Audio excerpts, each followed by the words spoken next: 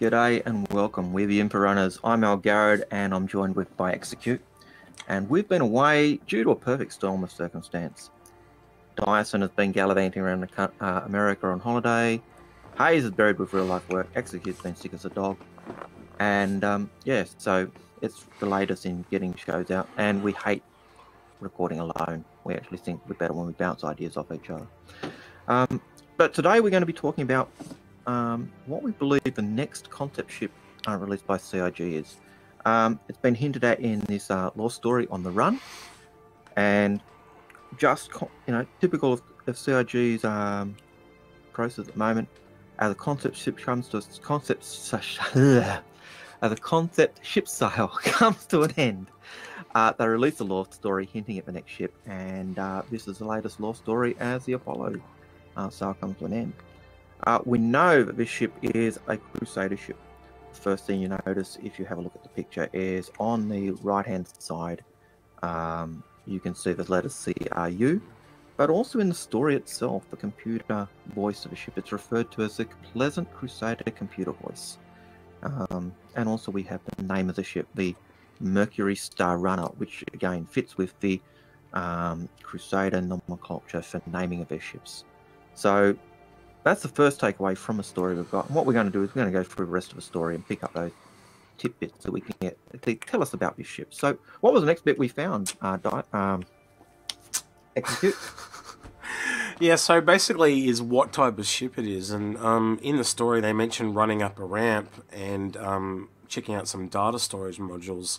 Um, and the other part that's not in the story is a couple of weeks ago, I believe on the 6th of August, on a Calling Over All Devs episode called Aspects of Flight and Landing, uh, Disco Lando kind of let slip that the next ship would be a smuggling ship. So if you cross pollinate that, it sounds it's like it's a little bit like a vulture or something, Vulcan type of ship, where it's a hybrid between smuggling and hacking. Um, based on that. And the other thing is, obviously, what I said before is when they walk up a ramp. So there's a ramp into this ship for loading and unloading of cargo, um, plus the, the data stuff. Which yeah, I find we were talking about it earlier. When we were talking about it earlier, you were saying the ramp just doesn't make sense to me. It, it you know, I didn't, was, I didn't understand why it needed it when yeah, the Herald it, didn't have one. I was like, why does it need a ramp? It has to have some form of cargo. What is this form of cargo? And then yeah the the episode about um, uh, Disco Lando came back to me, and I'm like, ah, click. Yeah. And that just makes it all fit in place. Why does this ship have a ramp? You need it for your cargo when you're smuggling. But that also raises the other question: Does this ship have hidden cargo areas, little hidden nooks and crannies for smuggling, or does it have a shielded cargo area? So that's something we don't know, but it'd be nice to see if it does, uh, based on that. Um, the other thing we noted as we were reading uh, the story is that this ship is also atmosphere capable. The story is set in uh, Terra Prime, and uh, sure enough, this ship flies through the atmosphere really smoothly, and um, it's got a nice wing sweat wing wing pattern. You can see part of it on the on the picture up the top there. Uh, kind of resembles a Hercules uh, Starlifter.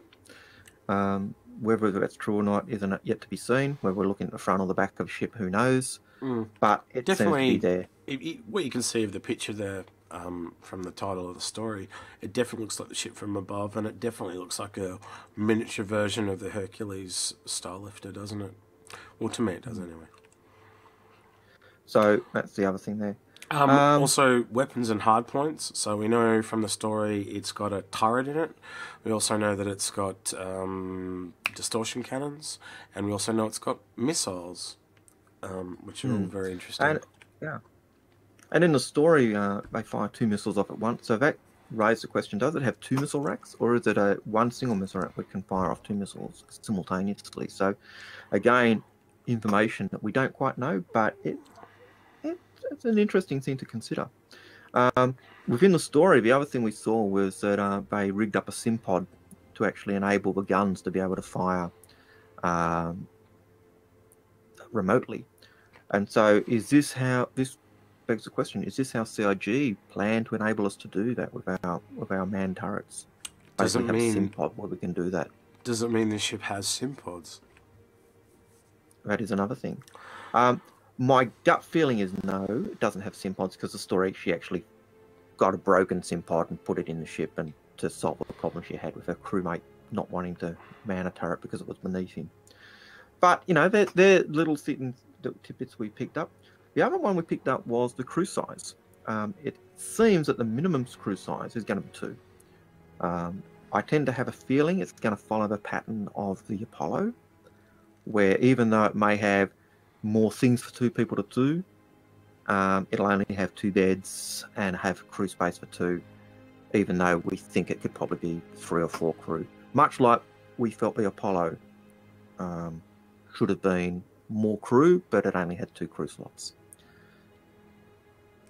Uh, yep. Anything to add on? No, I, I totally agree with that. I'm I'm a bit disturbed by this trend of um, not really going up in crew sizes, and it's like um, you know, you, you, want to play with your friends, you want to have this natural progression. So, you know, me and Tom are playing and doing this and this ship, and we move up to a ship, and hang on, we can't join our other friends because it's only a two seater as well. So, does that mean certain professions are going to be locked into a certain number of players? I find that yeah. strange.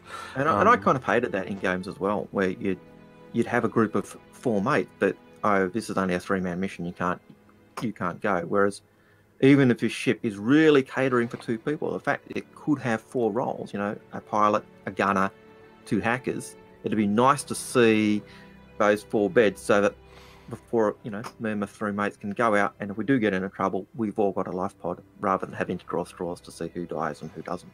Yeah, so let's um, hope this is not a continuing trend because I'm, mm. I'm not a happy fan of it, and and I think it's like like the Apollo literally crushed the Cutlass Red, like it Mm. It, it, killed it, dude. It like cut it off at the. He did. Um, it was it was not a good look, um, and I think there were a lot of very annoyed Cutlass Red. Um, mm. you know, and, and the concern is that this ship could be doing the same thing to the Herald. yeah, um, I, I, think I think probably the one saving grace is the fact that the Herald is dedicated to info running, and you could literally mm. run that solo if you really needed to. This ship with the smuggling thing, I start to question is it doing the same job as the Herald, but it also has the ability to be a smuggling vessel? Or does it literally do everything the Herald does and it's a smuggling vessel? Just totally killing any need to have the Herald, and that's that's the balance that they're going to have to, to to achieve there. Yeah, yeah. Uh, and I, I, can see what you're saying there, and it's, it's it is a concern um, in terms of the crew sizes and, and, and, the other stuff. The last thing that we glean from the story, which is a real gem, is that this ship has uh, a, regist- a registration spoof, a reg spoof, and um, we know from the story it is power hungry, because in the story, uh, Maz uh, powers down the shields, or diverts power from the shields and the thrusters as he powers up this reg spoof reg spoof, which enables them to kind of disguise their ship, uh, the look of a ship, but not the model of a ship, because uh, the pilot says, "Oh, I hope you know, basically, I hope not too many, you know, I hope we're not the only people flying a Mercury today." Uh, so we know it doesn't change the shape of the ship, but it certainly changes the look of the ship, um, which may made me think of the Electro skin from back in the day. But there, um, that's pretty much the information we gleaned uh, so far. Is there anything else you want to add to that? Execute. No, I think that's been really thorough. Um, you know, we're obviously going to learn more in the next 48 hours. Um, but I think we've got a really good head start on most people, and I think it's a unique ship. I think, you know, my first speculation on this was, oh, it's just another info runners type ship. But adding and connecting the dots, it, it it's made the ship a little bit more exciting in my eyes. I don't know about you, but I, um, I'm kind of tempted. yeah, I'm interested. I'm interested now. Having having thought about those extra things we were we were talking about later, um, I'm thinking this could be a nice ship to to certainly explore, and we'll explore that if we're right. But this is a new ship. We'll definitely explore it after it's been released. We expect it in either ATV or ATV in the next couple of days, uh, and if so, we'll do a buyer's guide once we've had a chance to have a better look. Mm-hmm. Um, Two, two, two more things real quickly. If you look at the image itself, um, it appears like there's either a docking collar or some kind of scanning suite or something on top of that ship.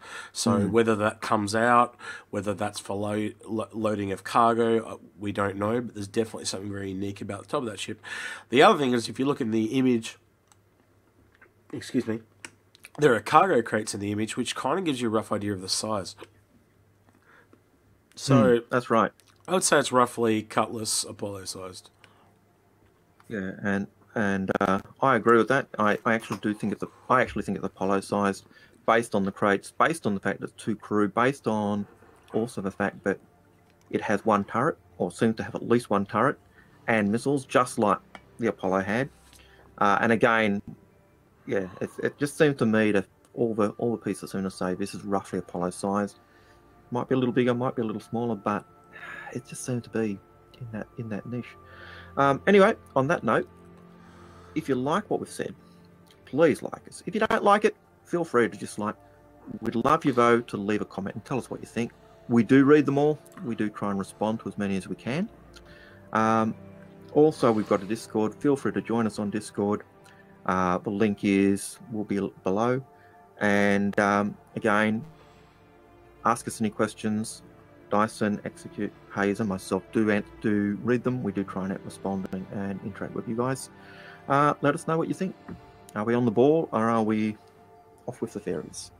And on that note, I'm Algared. And I'm Execute, and we'll catch you next time. Take care.